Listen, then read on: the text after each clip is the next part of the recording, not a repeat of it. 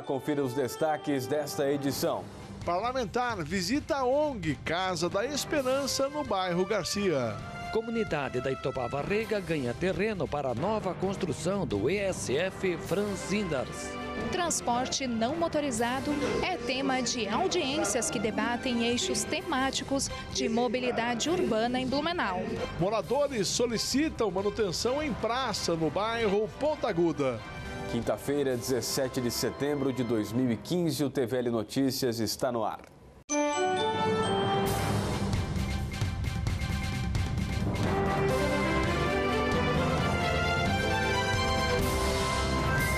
Tramitam na Câmara dois projetos de lei apresentados pelo vereador Ivan Atos do PDT. Uma das propostas cria o impostômetro em Blumenau, onde a prefeitura seria obrigada a divulgar na internet o valor total de impostos municipais, estaduais e federais pagos pelos blumenauenses. O outro projeto sugere a criação do voluntariômetro. Neste caso, a prefeitura teria que informar a quantidade de horas de trabalho voluntário registrados e prestados também pelos blumenauenses. Entidade que atende crianças em situação de risco recebe recursos do município. Parlamentar visitou a instituição. Além do vereador Marco Antônio Van Hovski, acompanhou a visita também o prefeito Napoleão Bernardes. Eles fizeram questão de passar pela estrutura da entidade, que atende em contraturno escolar 106 crianças de 6 a 15 anos em situação de risco social. Um período essas crianças ficam na escola e um período eles vêm, desenvolve várias atividades aqui com a gente, é, várias que são organizadas durante a semana, dividido por grupos. Na segunda elas têm música. Na terça e na quinta nós temos a parceria com a Profamília, fazem atividades de dança. E na quarta e na sexta atividades de educação física e outras atividades que são programadas com os educadores sociais é, dentro do planejamento do serviço de convivência e fortalecimento de vínculos que é uma parceria com a Secretaria de Assistência Social, conveniados. Durante a visita à Casa da Esperança, atendendo indicação do vereador Marco Antônio Van Hovski, foram repassados pela Prefeitura recursos na ordem de R$ 14.500 para a entidade. A Casa da Esperança é uma entidade reconhecida como de utilidade pública pela legislação municipal e faz um trabalho notório de acolhimento a crianças, adolescentes, todo um programa muito importante de contraturno escolar, garante, além de alimentação adequada, adequada, com acompanhamento nutricional, toda uma série de apoio pedagógico. O apoio pedagógico é fundamental, várias atividades extracurriculares, acompanhamento médico, de tantos outros profissionais e muitos aqui se doam né, de corpo e alma a essa causa de valorização da infância. Então, por isso, as parcerias institucionais legais que o município tem com a Casa da Esperança né, e a Prefeitura de Blumenau, ao reconhecer esse trabalho em parceria com a Câmara de Vereadores, sempre quer incentivar cada vez mais isso que é tão importante do povo de Blumenau, que é o associativismo, que é a união em favor do bem comum. Sempre tivemos uma admiração muito grande por esse trabalho.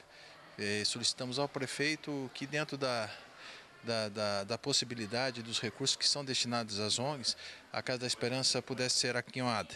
E o prefeito está trazendo hoje uma subvenção social é, do Executivo, é, atendendo à solicitação da própria Casa da Esperança, que precisa de recursos, e nós que conhecemos bem esse trabalho. Então, agradecemos ao prefeito, ao executivo, e principalmente à Casa da Esperança, seus funcionários, a todos aqueles abnegados voluntários é, que fazem um grande trabalho, dando um apoio fundamental para essas crianças é, que precisam de apoio na área educacional, na área lúdica e principalmente até é, na área do afeto. Os recursos do executivo serão investidos na manutenção e salários dos funcionários da cozinha da entidade.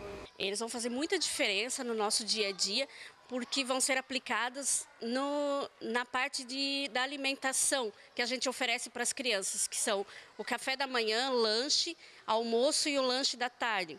A gente vai comprar equipamentos para a cozinha, uma parte de alimentação e também garantir salários para as pessoas que preparam essa alimentação no dia a dia das crianças.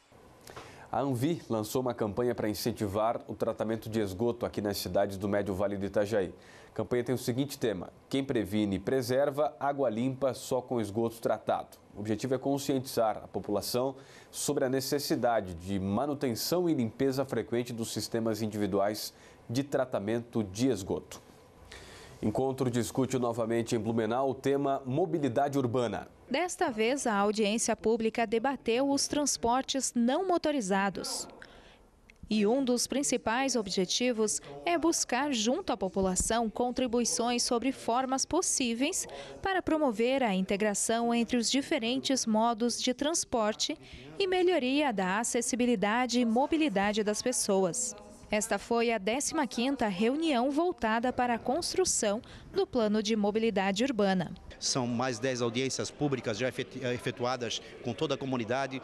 Efetivamos recentemente é, o início das audiências públicas temáticas, né?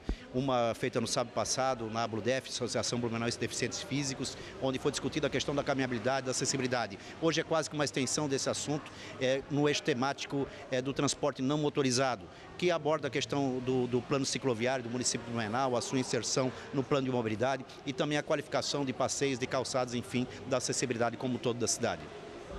O programa Calçada Nota 10 também está em pauta. É, nós, na quinta-feira passada, é, lançamos no Salão Nobre da Prefeitura Municipal de Blumenau é, um conjunto de ações voltadas à qualificação das calçadas no município de Blumenau e à qualificação da questão da acessibilidade, que intitulamos é, é, Calçada Nota 10. É um conjunto de ações que vão desde a da fiscalização, de diretrizes técnicas, enfim, e da, do convite à população de participar desse programa. É, apresentamos no sábado passado também, junto à, à Associação Blumenau de Deficientes Físicos, e hoje, sem dúvida nenhuma, apresentamos novamente esse programa, que é um importante é, contexto da qualificação das calçadas no município de Menal. O vereador Jans Mantel, do PSDB, esteve presente na audiência e ressaltou a importância de ouvir a comunidade para o desenvolvimento do plano de mobilidade. Tenho acompanhado esse trabalho de descentralização, ir ao encontro onde que realmente mora o nosso município e assim como aconteceu nos bairros, acontece nesse momento aqui também no centro da cidade. Teremos aí mais uma no bairro da Itopava Central, ainda nesta semana. Mas uh, aqui complementar o prefeito Napoleão Bernardes pela forma e atuação e oportunidade que tem dado para todos nós munícipes. E eu estou aqui mais uma vez conferindo, ouvindo realmente a comunidade que está aqui, é, para que nós possamos continuar respeitando ao nosso plano de mobilidade nossa cidade. Para o ciclista e integrante da Associação Blumenauense Pro Ciclovias, Eldon Jung, que fez questão de usar seu transporte favorito para chegar no local, essas audiências são muito importantes para a comunidade. É essencial e ficamos contentes que está acontecendo esta audiência hoje, pois foi uma reivindicação da nossa ONG que se discutisse na comunidade eh, todos os projetos e se ouvisse a comunidade sobre as suas demandas. E esta é a oportunidade de hoje à noite. Outras audiências estão previstas para este ano. A próxima será nesta sexta-feira, na região administrativa da Itopava Central, que vai receber a população para debater sobre o tema transporte aéreo. Nessa sexta-feira é, teremos é, a discussão do transporte aeroviário, que também engloba a questão da mobilidade, né? e posteriormente também a questão do transporte de massa, é, transporte sobre trilhos, enfim, no prosseguimento das audiências públicas. E veja a seguir. Comunidade da Itopava Rega ganha terreno para a nova construção do ESF Franzindars. Moradores solicitam manutenção em praça no bairro Ponta Aguda. TVL Notícias volta já.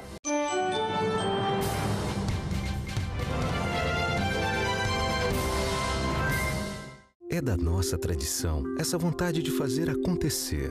Todos os dias, todas as horas, conseguimos fazer da tristeza a nossa superação, das conquistas o nosso objetivo. A Câmara Municipal faz parte dessa história, na fiscalização e na promoção de um debate contínuo com a nossa sociedade. Acompanhe as atividades do Legislativo no site e exerça hoje e sempre sua cidadania. Câmara Municipal de Blumenau, fazendo parte dessa história.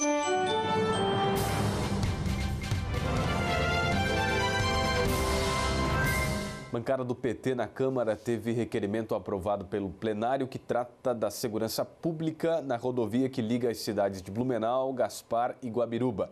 Os vereadores Adriano Pereira, Jefferson Forres e Vanderlei de Oliveira pedem à Secretaria Estadual da Segurança, SDRs, prefeituras e câmaras aqui da região para que melhorem a fiscalização e a segurança na SC 420, devido aos recentes assaltos registrados nesta rodovia. Vereador comemora avanço para a construção da nova unidade de saúde da Itopava Rega. Uma antiga reivindicação dos moradores da Itopava Rega está mais próxima da realidade. Esta semana foi assinada a escritura de área pública para o terreno onde será edificada a nova sede da Unidade de Estratégia de Saúde da Família, ISF Franzinders. Na presença de lideranças da comunidade, o prefeito Napoleão Bernardes firmou o documento destacou as melhorias realizadas na atual sede e a importância da nova construção. Melhorias pontuais que foram sugeridas e reivindicadas pela população, pelos conselhos locais de saúde, e um grande avanço que há muito tempo se pleiteava, que é a regularização, a escrituração dessa área, que a partir de agora permite à prefeitura cadastrar essa unidade no Ministério da Saúde, para que tão logo haja oportunidades de financiamento, buscar os recursos para ampliação para uma nova unidade aqui que é tão importante. O terreno foi adquirido na década de 90 Problemas com a documentação adiaram o desmembramento e a transferência da área pública. Só agora a prefeitura conseguiu legalizar o imóvel. Nosso passo agora é finalizar o projeto de engenharia e o projeto arquitetônico da unidade. Assim que o Ministério abrir para cadastramento de proposta para construção, a prioridade do governo é construir a unidade de saúde ampliada de uma forma que realmente seja dentro dos padrões que a própria vigilância sanitária exige para que a gente, para que a equipe tenha uma situação adequada para poder dar um atendimento ainda melhor para a população que aqui mora. O anúncio da liberação do terreno para a nova construção deu esperanças aos moradores que reclamam do espaço reduzido para os atendimentos médicos. Para esta líder comunitária, as melhorias na atual sede ainda não atendem à necessidade funcional do postinho. Tendo um espaço melhor, as pessoas serão melhor atendidas, o, o, o, profissional tenha mais ânimo, eu acho, em atender o, o, o, paciente, né? Porque não tem, não tem espaço, não tem sala de espera, não tem como o, o, o paciente aguardar a vez dele. É tudo muito apertado. A umidade atrapalha o trabalho das funcionárias também. Para o vereador Iens Mantal, a administração pública está fazendo a sua parte além das reformas em vários postos de saúde, investe em novas construções, ampliando o espaço e melhorando a capacidade de atendimento, como é o caso do ESF Franz Zinders. Coincidentemente, aqui eu morava até 14 anos, nesse terreno onde nós estamos nesse momento, mas uh, a ampliação é necessária. É por isso que, nesse momento, estamos iniciando uma nova etapa que é buscar recursos do governo federal para que essa região possa contemplar aí um espaço maior, tanto para aqueles que trabalham aqui e também daqueles que procuram essa unidade de saúde. E é importante frisar de que o esforço foi feito. Em quantos mais de 15 anos já se pleiteia uh, um espaço próprio para a Secretaria de Saúde pudesse ter aí o seu espaço no SF. Por isso, quero aqui render o meu tributo também pela coragem que o prefeito municipal Napoleão Bernardes teve para com esse imóvel, que com certeza vai ser um sonho daqui para frente a ser entregue também pela comunidade. O presidente da Associação Brasileira de Escritores Afro-Religiosos, Ademir Barbosa Júnior, esteve na tribuna da Câmara esta semana para convidar a população para participar do Fórum Catarinense de Umbanda. O evento vai ser no dia 13 de outubro na FURB, com a presença de umbandistas e pesquisadores brasileiros sobre o tema. Ademir lembrou que Blumenau é referência no Brasil por causa da religião de Umbanda. Moradores cobram manutenção de praça na Ponta Aguda. A praça Professor José Ferreira da Silva, no Anel Viário Norte, encontra-se neste estado. Parte deteriorada pela ação do tempo, parte por ação de vândalos. Os moradores do local dizem que este é o principal espaço para a comunidade e precisa ser revitalizado. É importante porque as mães trazem os filhos para brincar, eles jogam bola, eles, eles, eles brincam skate. É muito importante ali, faz muita falta. A gente caminha ali, né? Eu caminhava muito ali, mas quando está tudo estragado eu não caminho mais, né? E também eh, os pais trazem as crianças para brincar ali. E a, aqueles meninos que têm skate também vão ali. Eu acho muito importante isso ali. Final de semana os pais vêm ali brincar com as crianças, né? As pessoas também caminham ali, é muito bom, é um espaço bom mesmo. A gente que tem neto e que é adolescente, não tem onde ficar. E ali é uma praça necessária. É necessária para as crianças, para os pais, levar seus filhos final de semana. É uma praça de lazer, né? E precisa melhorar, tá? Tá faltando banheiro, tá? E eu acho que é uma boa arrumar para o pessoal utilizar, para o povo, né, da comunidade nossa. O vereador Marcos da Rosa foi chamada por lideranças para conhecer o problema. A ele foi feita a solicitação para que leve esta reivindicação ao executivo. Ele adiantou que já encaminhou o pedido da comunidade. Essa sua praça que veio aqui para a República Argentina já foi no meu tempo, quando eu era presidente. Agora eu estou reivindicando através do vereador Marco da Rosa, tá? Para uma reforma que ela está bem destruída. Então, o vereador Marco da Rosa se comoveu e trouxe, vai trazer a, a reivindicação minha para a reforma dessa pracinha, para a comunidade. A resposta já foi positiva. Nós encaminhamos o ofício e também tivemos o contato por telefone. É muito importante essa articulação política, representar a comunidade, fazer ressoar, fazer a, a voz da comunidade chegar até o executivo, o executivo. Então, essa também é uma função do vereador, este elo entre a comunidade e o poder executivo e as secretarias, enfim. Agora nós vamos ter mais essa benfeitoria aqui para a comunidade da República Argentina, do bairro Ponta Aguda. O parlamentar também visitou a Praça Dir Schneider, que fica ao lado. Segundo o parlamentar, depois da reivindicação da comunidade, será implantada aqui uma academia a céu aberto. A base já está pronta e nos próximos dias a academia será inaugurada. O pontapé inicial foi em virtude do ex ex-presidente da associação, o Laércio Raulino, nos convidou para vir aqui para mostrar um pouquinho mais da situação do bairro. Nós reivindicamos uma academia ao ar livre, fizemos o contato também, a articulação política, conseguimos. Demorou um pouquinho porque a comunidade, houve um impasse.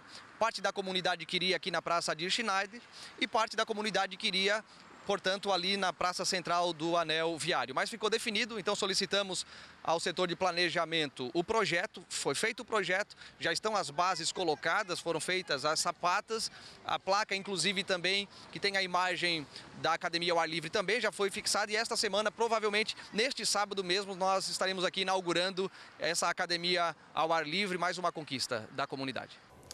A rainha da Oktoberfest, Tamires Galoafit, viaja hoje para a Alemanha para participar da Oktober de Munique. Primeira vez que uma rainha da festa aqui de Blumenau participa da tradicional festa lá da Alemanha.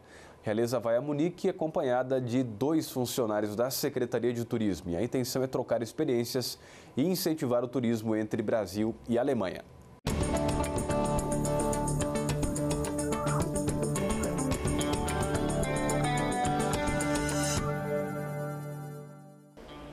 Configuração atmosférica com relação à quarta-feira para essa quinta não se modifica muito. Então vamos ter aí mais um dia com presença de sol em meio à nebulosidade.